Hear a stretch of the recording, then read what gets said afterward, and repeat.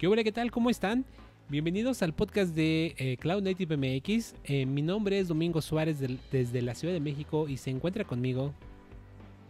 Aquí Marco Muñiz. Este, saludos. espero que todo les vaya bien. Así es, Marquito. Pues bueno, este es el episodio número 25. Olvidé si lo mencioné, pero bueno, este es el episodio 25.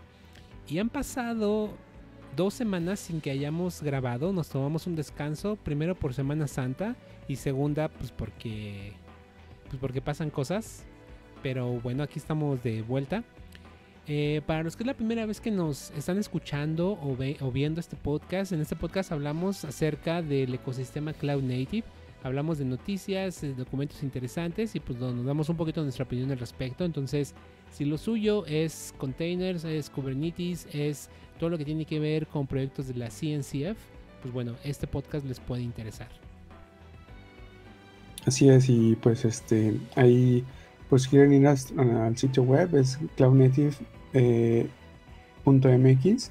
y pues ahí pueden encontrar otros este, eh, redes sociales Inclusive se pueden unir, a Slack y ahí pueden, podemos seguir este, compartiendo cosas o comentando.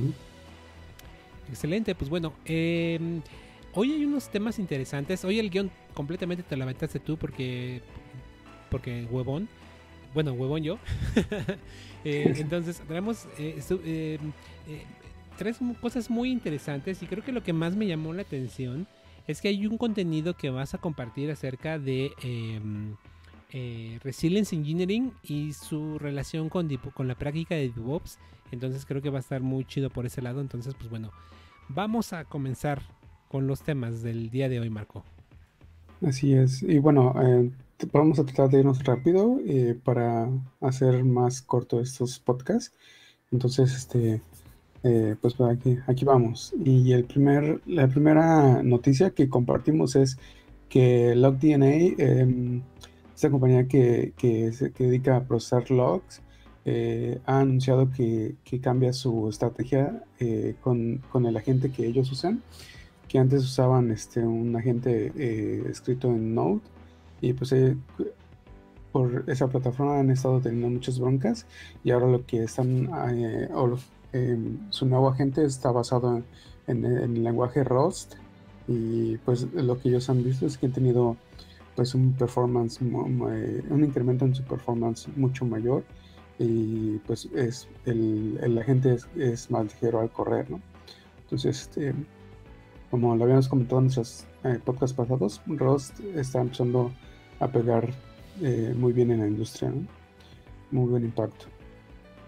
Pues aquí creo que sí es un gran acierto porque, bueno, eh, Node está complicado porque digo, al final del día el procesamiento de logs, sobre todo recordemos que parte del, log es pues, prácticamente estar todo el tiempo procesando archivos de texto, ¿no? Se tienen que, eh, se tienen que como eh, parsear archivos, aplicar reglas y hacer, pues bueno, mucho trabajo. Entonces, hacer eso con JavaScript, además de que implica que tienes que eh, instalarle pues más dependencias a tu máquina, eh, pues no está tan chido, aunque vayan eh, eh, empaquetadas en containers.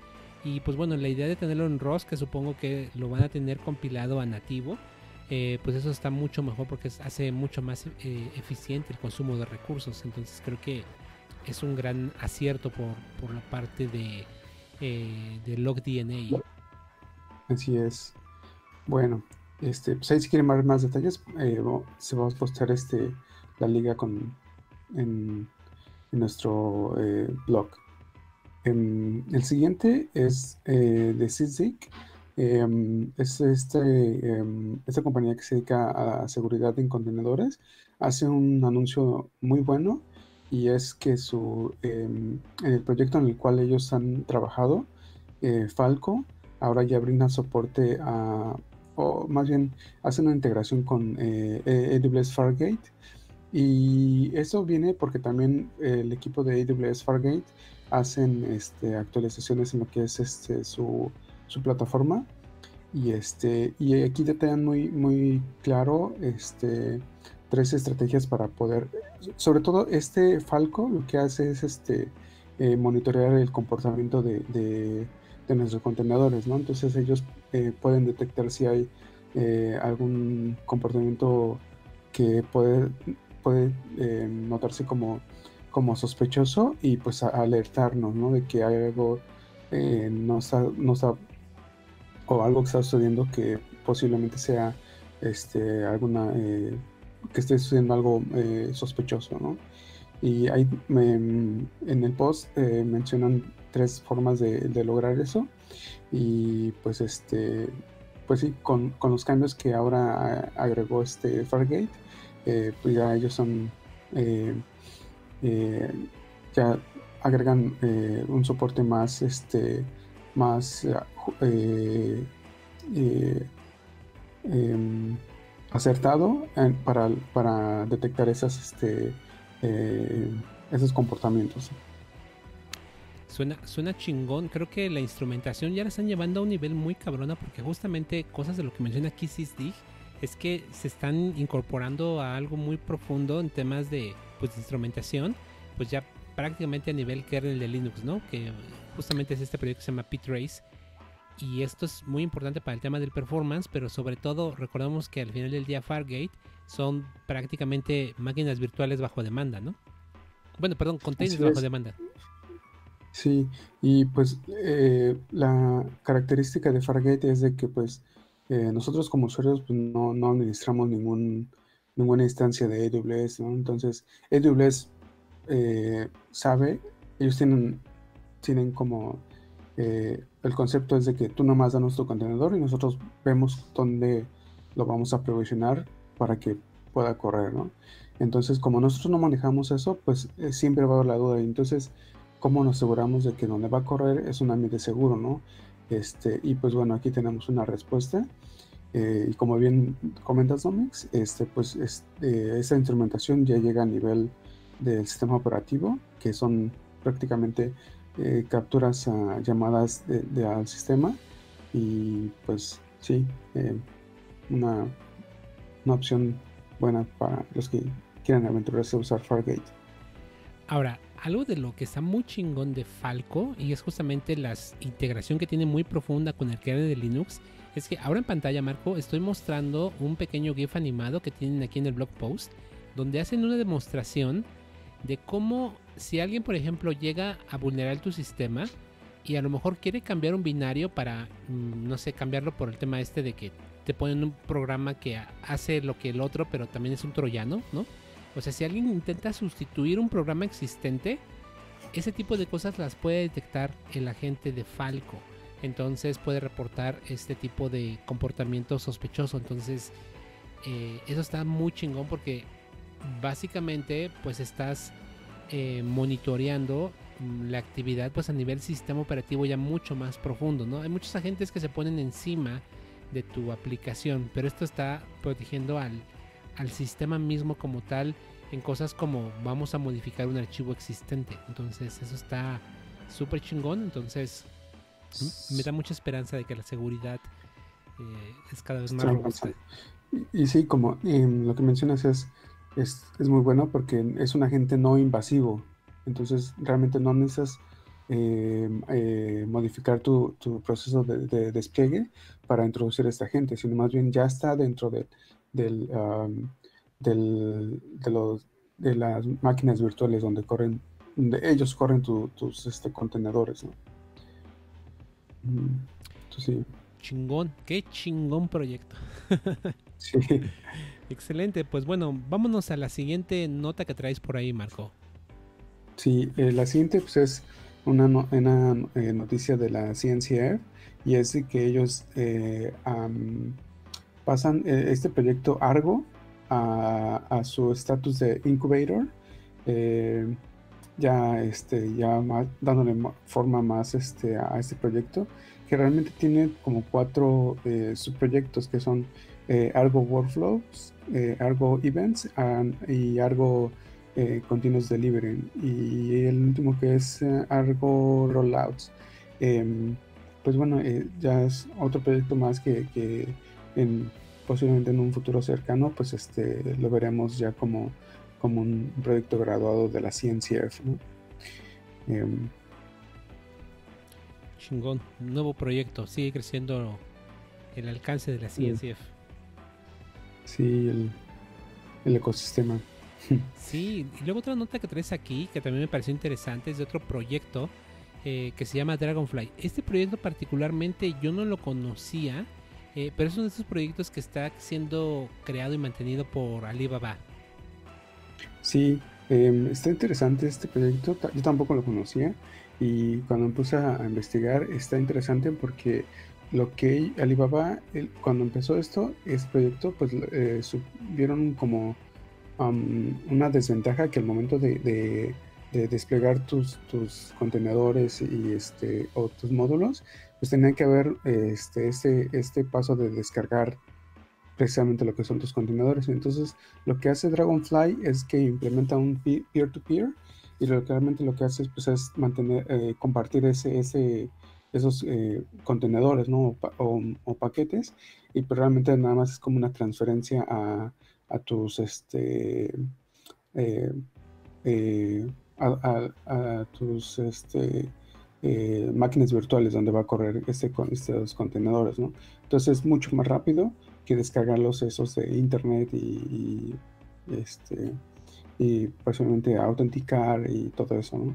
Entonces este em, la ciencia ya mueve este proyecto de, a su estatus de incubator y este, y pues sí, em, eh, un, proyecto más al, este, al ecosistema. Fíjate que para muchos de nosotros distribuir aplicaciones utilizando peer-to-peer puede sonar pues un poquito absurdo, pero la verdad es que obviamente tiene sus casos de uso. Yo recuerdo que hace 10 años, hace 10 años esto lo hacía bueno, si no son 10 años, al menos 9 años. Pero entre 9 y 10 años, la verdad no recuerdo exactamente bien porque pues, fue hace bastante tiempo. Twitter hacía esto. Eh, los deployments de las aplicaciones en Twitter se hacían con peer-to-peer. Y esto pues básicamente porque esos protocolos ¿no? de peer-to-peer pues generalmente lo que hacen es que pueden desde múltiples pares eh, poder compartir fragmentos de un archivo completo. Entonces pues esto optimiza el ancho de banda, optimiza que bueno, quien desea un archivo también lo obtenga del punto más cercano. Entonces, eh, esto pues tiene una implicación fuertísima con containers porque regularmente tenemos nuestro registry, es un solo endpoint. Y si tenemos eh, desplegando muchas aplicaciones y, todas estas eh, aplicaciones están siendo descargadas desde múltiples puntos, van a uno solo a descargarlo. Por más que tengas una CDN, por más que tengas atrás varios backends, pues al final ya hay muchos containers que pesan incluso ya pasan de los 100 gigas, entonces se convierte en un cuello de botella el deployment. Entonces, pues este ya está bien chida. Eh, habrá que ver cómo evolucionan los registros, si también los registros en algún momento van a soportar este tipo de, funcionalidades. Yo creo que mm, yo creo que sí, yo creo que en algún hay, ah, hay que investigar, pero seguramente hay una optimización por ahí que le van a hacer al formato OSI para que esto pueda eh, pues ser una optimización grande.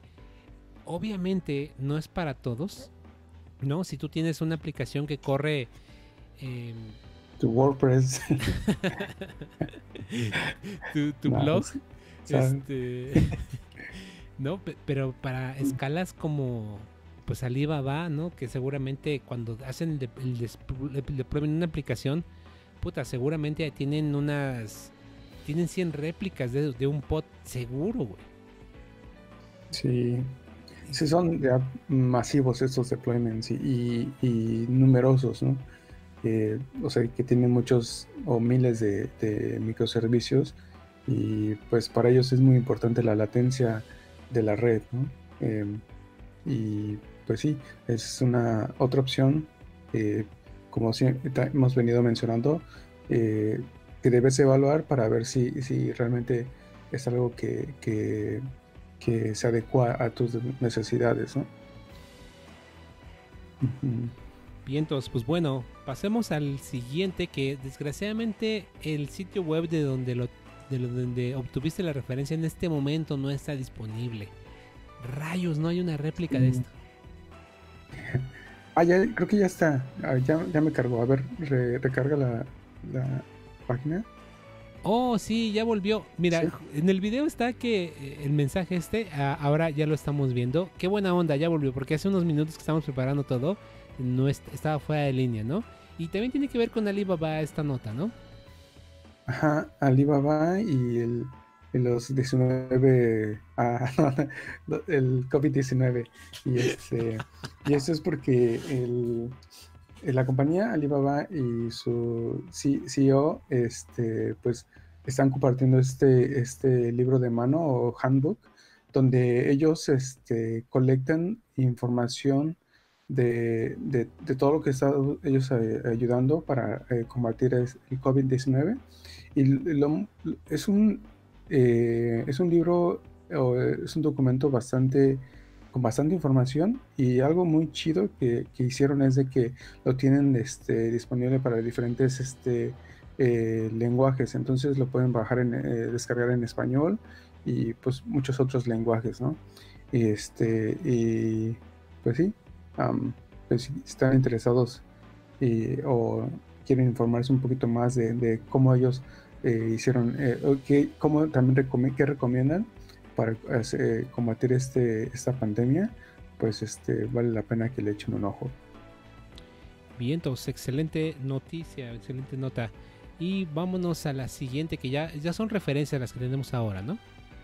Sí, y ya pasamos a, nuestra sección de referencias. y pues bueno, la, primera referencia es un, eh, post eh, muy, muy, muy sencillo, pero me parece que es muy bueno para, aquellos que están empezando con lo que es Prometheus y, Kubernetes. Entonces es este, em, este post te muestra cómo deployar un, Prometheus este, en, tu eh, Minikube eh, es una guía de 5 minutos y realmente es muy sencilla de seguir. Eh, entonces, este, pues ahí para que le eches un ojo y, veas de qué trata Minikube, eh, perdón, este Prometheus, y puedes jugar con él en, tu en tu clúster local. Buena referencia.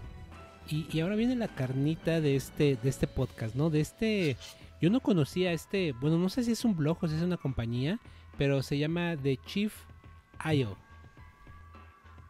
Sí, em, bueno, eh, encontré esta. Eh, mm, es, una, es una eh, serie de tres posts em, y me pareció interesante porque em, realmente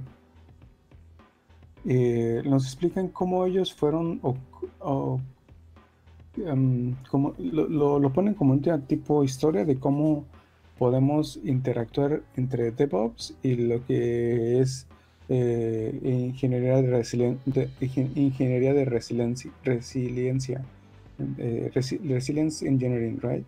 Em, entonces ellos empiezan a explicar este, sobre todo el tema de que es este, eh, la cultura, de, no solo, no solo es en, la parte de, por ejemplo, de tu, de tu aplicación que deberías o de, deberías de, implementar resiliencia, sino también en la, la parte de la plataforma. Entonces, este, y ellos en esta serie de posts te, explican qué es eh, eh, eh, resilience, resilience Engineering y, este, y cómo, cómo lo puedes este, pues ligar a lo que es este, el rol de DevOps, ¿no? O la metodología de DevOps. Este, entonces, este, el, primer post es solo explican conceptos y el, segundo post es em, habla más este, sobre la, digamos que la implementación de lo que es este, em, estas dos, eh, la metodología y lo que es Resilience Engineering.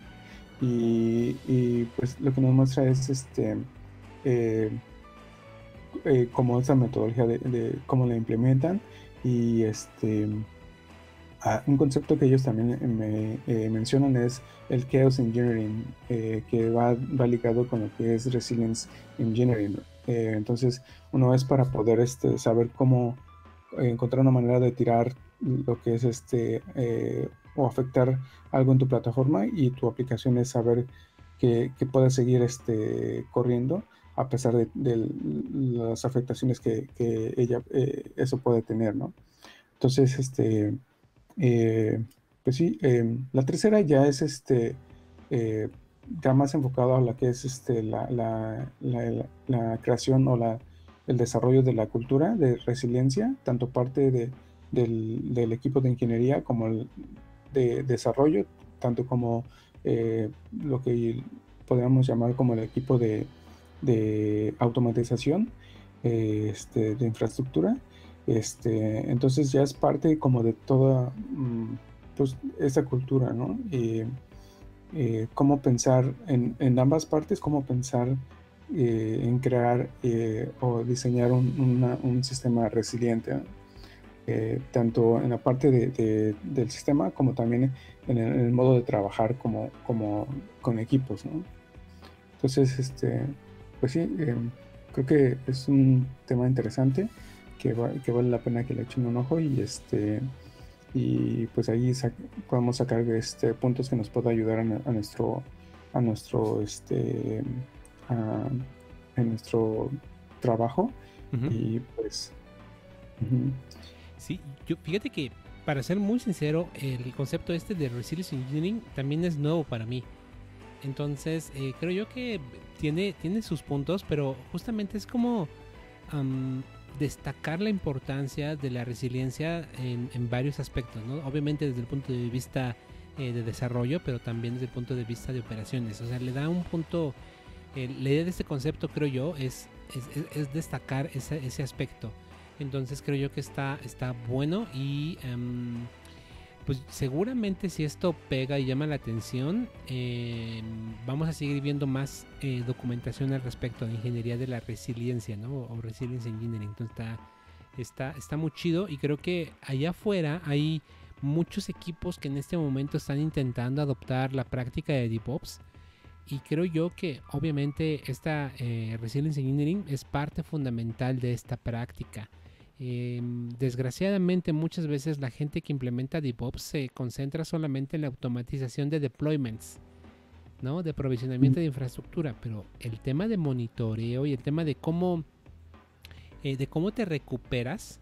Recordemos que eh, hay, una parte, creo que el tema de Resilience Engineering viene, si no como tal, así el concepto, eh, en la parte de SRE, de Site Reliability Engineering, creo que muchas de las cosas de las cuales se sustenta SRE tiene que ver obviamente con la resiliencia, porque ellos dicen no hay que prevenir el error, sino más bien es cómo nos recuperamos de ese error, que es justamente la resiliencia. Entonces creo yo que eh, por ese lado está muy chingón y por eso el título del podcast de hoy es justamente Resilience Engineering, ¿no? Destacar este punto, este aspecto importante.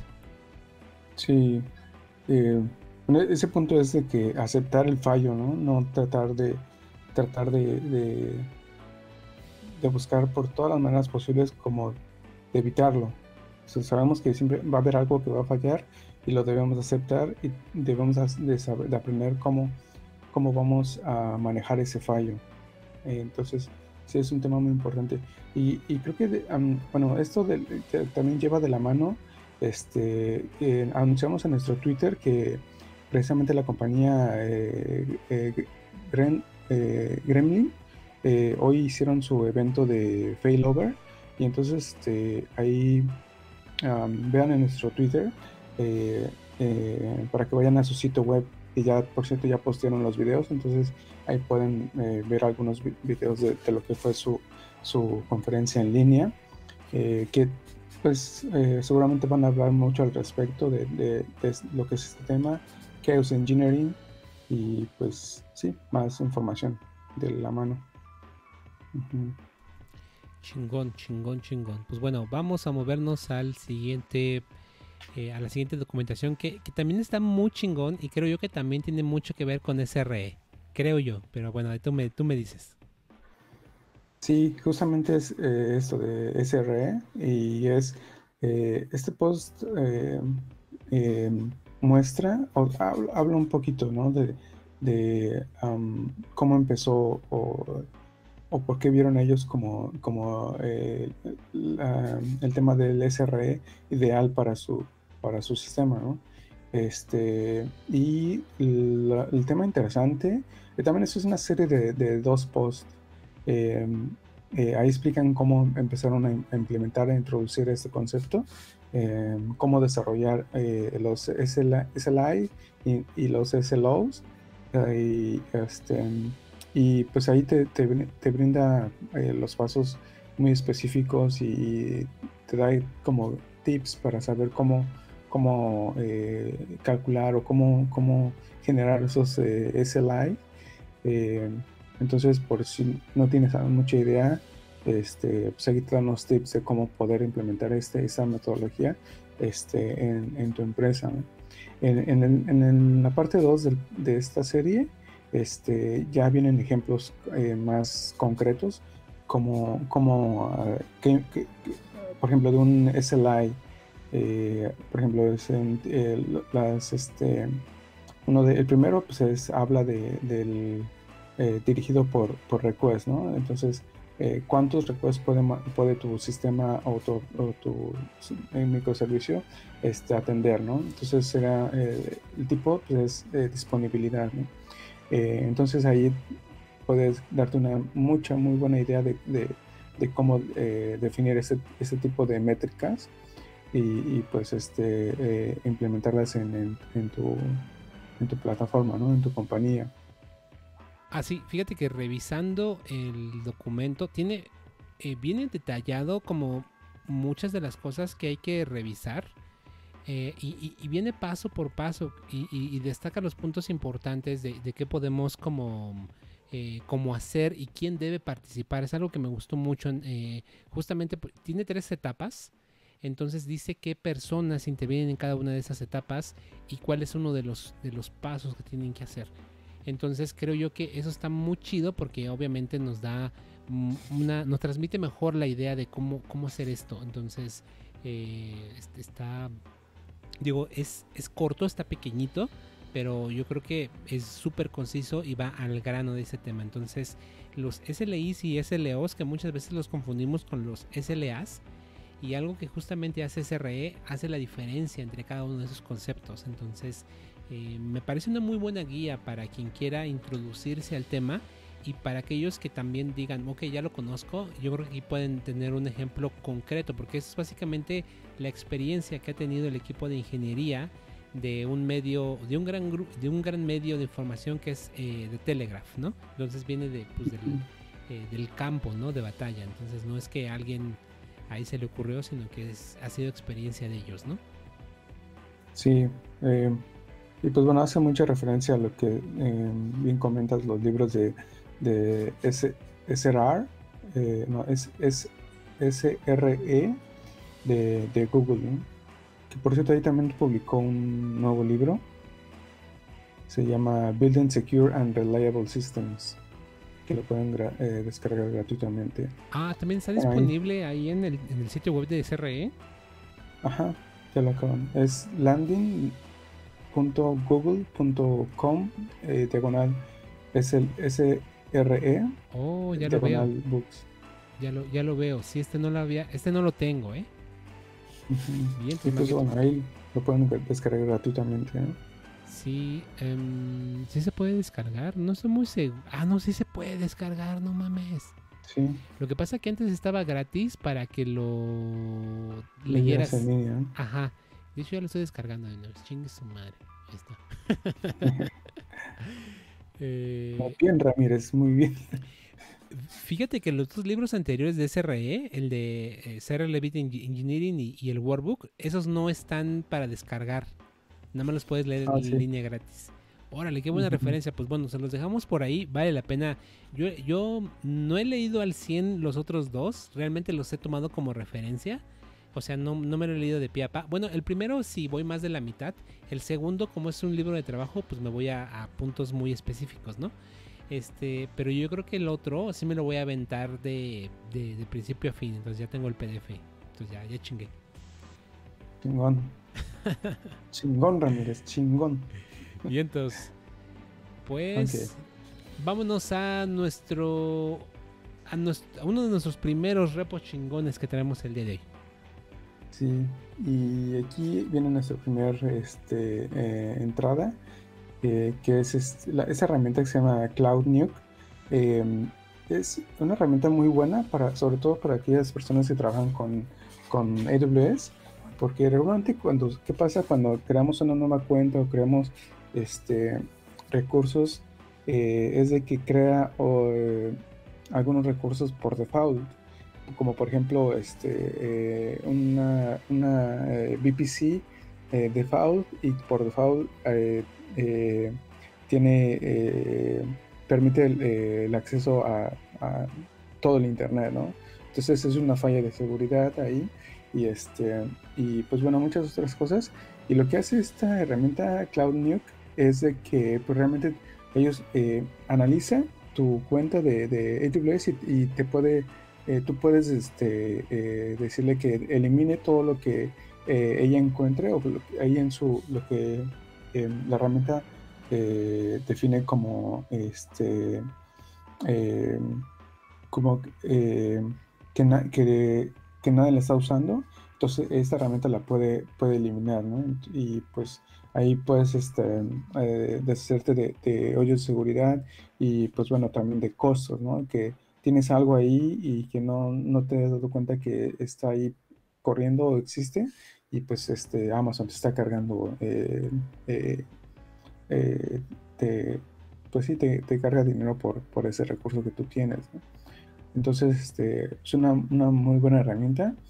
Este, pues ahí también tú, tú puedes este, saber antes de que tú corras el comando para que realmente borre todos esos recursos elimine esos recursos eh, correrlo en modo dry round eh, y para que sepas que vas, que vas a, este, a borrar. Eh, pues sí. Está, chido y me gusta mucho el, aquí el warning que tienen que dicen, ahí donde está, esto nunca debería ser usado en ambientes productivos.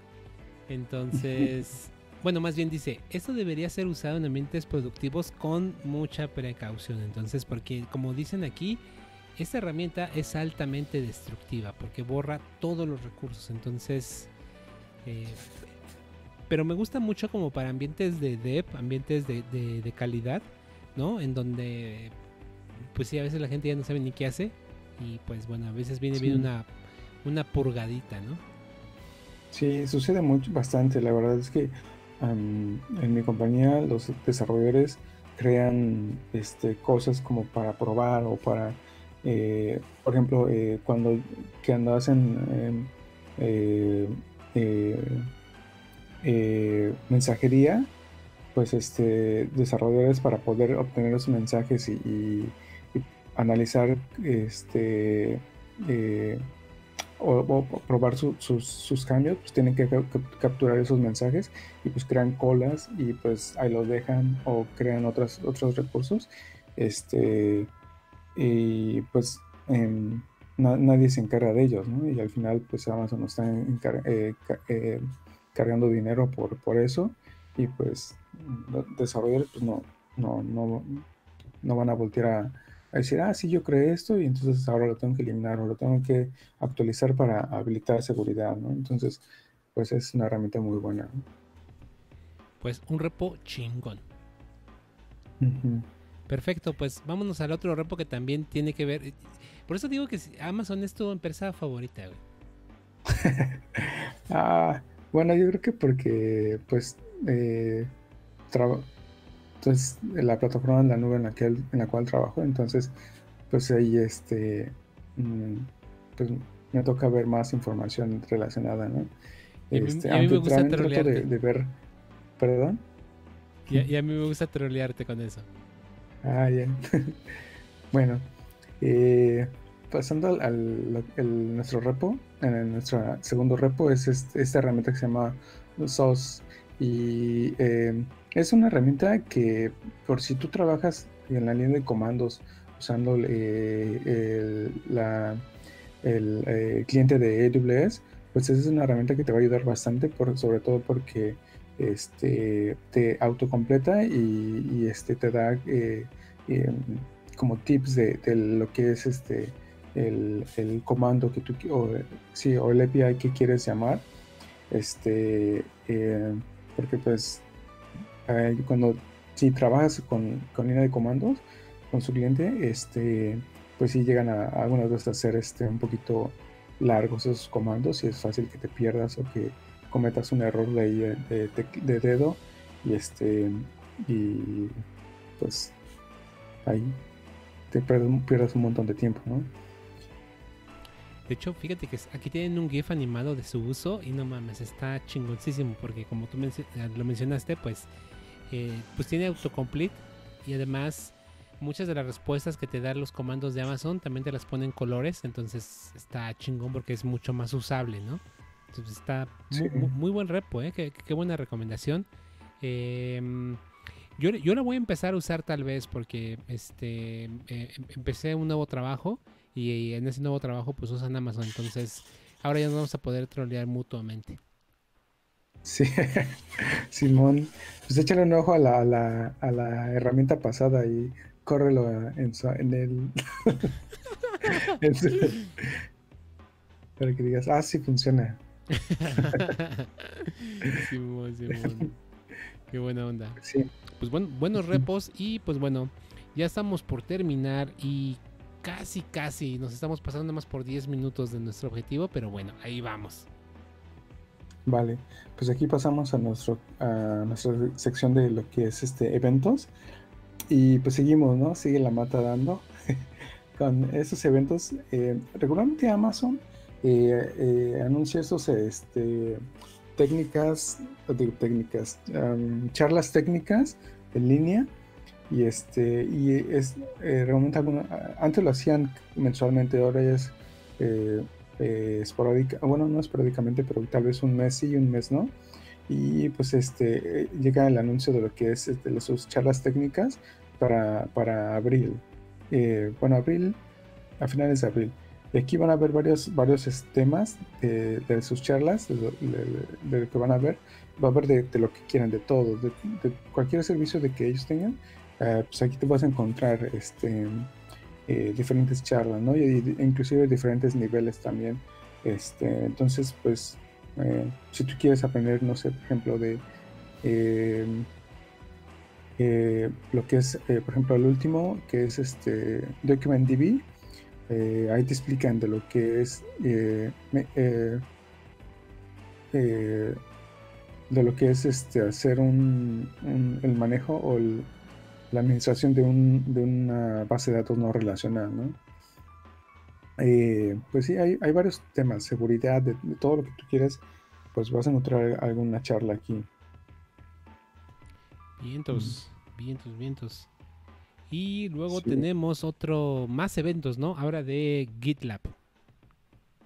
Simón, y es un evento de, como mencionas, de GitLab con eh, GitOps y, y Antos. Eh, ese es un, partnership que, ellos tienen con eh, Google y pues eh, este es para mostrarnos lo que es una implementación usando este, que ahora está pegando bastante. He escuchado eh, de este término, es el GitOps con, integrado con GitLab y Antos, ¿no? que es este, este servicio de, Google. entonces, este, y para que si están interesados, este, pues le echen un ojo. Esto es para la próxima semana, creo, ¿no? El 29 de, ah, abril, ¿no? Entonces sí, es un evento programado, ¿no? Entonces sí hay que registrarse, pero no, estoy seguro si después GitLab hace público los videos, no, no, no estoy seguro. Pero bueno. No tengo idea. Yo me voy a registrar en este y para ver. Igual, algunos, algunos lo que hacen, pues te mandan la liga a tu correo y pues ya lo puedes ver. Excelente. Y nuestro último evento que también me llamó mucho la atención es eh, pues una conferencia em, de la empresa Splunk. Así es, y pues justamente lo que ha estado sucediendo con esto de la pandemia es de que muchos eh, eventos, eh, conferencias internacionales, pues se van, se han este, declarado a, que el evento va a continuar, pero de en el formato en línea y justamente ellos también hacen lo mismo con su conferencia Conf eh, y pues bueno ahí hablan de todo de todos sus productos en, su plataforma de, Splunk esta vez también en línea, que será para el 20 y 21 de octubre. Y pues sí, pues si están interesados, este, regístrense para que tengan los updates y pues y el acceso a las conferencias, ¿no? Fíjate que me parece muy interesante el enfoque que están tomando los de Splunk, porque justamente aquí en la nota dice, oye, pero ¿por qué si es hasta final de octubre, no? En octubre ya vamos a estar en la normalidad. Y creo yo que están tomando una muy buena decisión, porque realmente eh, esta pandemia que estamos sufriendo ahora, eh, desgraciadamente vamos a estar golpeados todo este año porque mm, recordemos que en ocasiones este tema de las epidemias son olas. Eh, la de hace 100 años, bueno, la gripe española fueron tres olas de infección. Eh, espero que no sea ese el escenario. Eh, y creo yo que está bien que digan, aunque sea finales de octubre, aunque a lo mejor ya la libramos, mejor, mejor lo hacemos virtual por cualquier cosa, porque también la otra cosa es, es, es el tema económico. A lo mejor, digo, ojalá em, la pandemia se detenga y no haya más infecciones, pero el aspecto económico va a estar muy golpeado, ¿no? Entonces mucha gente no va a poder viajar también. Entonces, ojalá que la CNCF también le eche un vistazo. Bueno, eh, em, creo que hace dos podcasts hablamos acerca de que ya estaban confirmando CubeCon Europa 2020 para final, para agosto, ¿no? Sí. Es muy pronto, es muy pronto. Este, yo de hecho seguro ya no voy a ir a la de eh, Norteamérica que iba a ser en noviembre, ¿no? Mm, yo no voy a salir de viaje, pero bueno, veamos qué pasa. Sí, inclusive em, recibí un correo de, alguno de los ah, eh, de las compañías que, que, se anuncian en, en el CubeCon y ellos dijeron, ya, ¿sabes qué? No vamos este año y este, eh, pues mm, podemos compartir recursos contigo, este, pero no, no vamos a estar presentes en el CubeCon, ¿no? Entonces, seguramente otras empresas van a hacer lo mismo, ¿no? Sí, creo que es lo mejor. Entonces, bueno, qué, qué buena onda por Splunk, que mm, digo, a pesar de la fecha están diciendo, no vamos y mejor lo hacemos virtual y vemos qué pasa. Y, está bueno porque creo yo que es momento de que la humanidad también aprenda a cambiar las formas de trabajo. No estamos muy acostumbrados a eh, movernos, desplazarnos. Tiene un costo tremendo para el planeta, ¿no? El combustible, eh, la gente, el tiempo de las personas.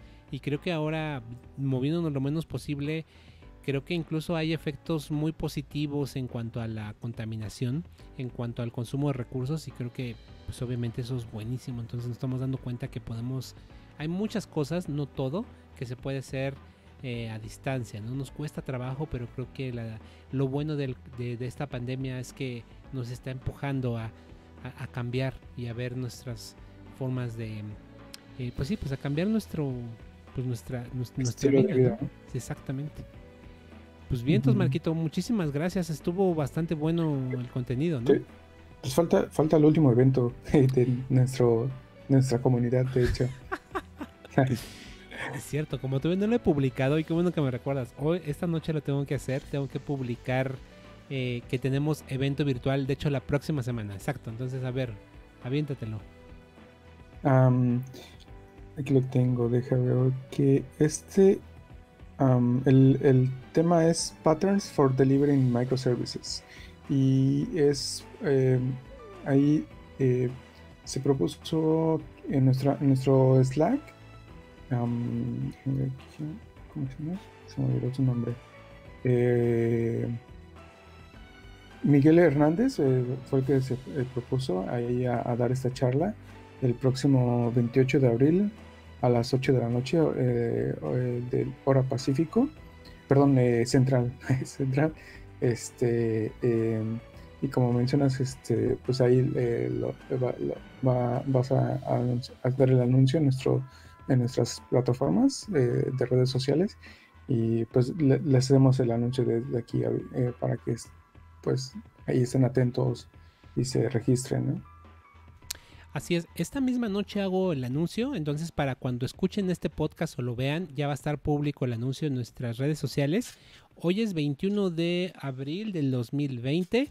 Este podcast lo vamos a publicar mañana en el transcurso del día, el miércoles 22. En algún momento del día lo vamos a subir. Entonces, pues bueno, em, ahora sí ya es todo, ¿no, Marquito? Creo. Sí, ya, ahora sí ya es todo. Genial, pues bueno, como siempre, muchísimas gracias por compartir tu tiempo y, hacer este podcast. Eh, fueron dos semanas, la verdad sí extrañé, pero por otro lado, pues bueno, ahí se nos atravesaron varias cosillas. Eh, y pues bueno, número 25, una peseta de podcast. sí, ¿verdad? Y a ver hasta dónde lleguemos. Sí. Y pues sí. Vale, pues, pues bueno, muchísimas gracias también a los que nos los que nos ven, nos escuchan y todo eso. Déjenos sus feedbacks, sus likes, las vistas. Eh, es muy motivante, entonces muchísimas gracias. Entonces, pues bueno, nos vemos la próxima, Marco. Sí, hasta luego, gracias.